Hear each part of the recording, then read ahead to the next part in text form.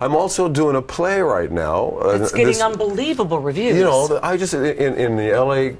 critics people they, they called it a masterpiece. I mean, they did? Was, yeah. Where, now you can only see this in L.A. though, right, Harry? Well, right this now, but right maybe coming to Broadway, it's maybe if it does that well. Right now, it's at the Skylight Theater in in Hollywood. But I mean, it, it's this comedy where my daughter gets a hickey on her neck, and all of a sudden the face of Jesus shows up on the hickey, and you know what happens when that of happens. Course. Oh yeah, yeah. Polarity ensues. Okay.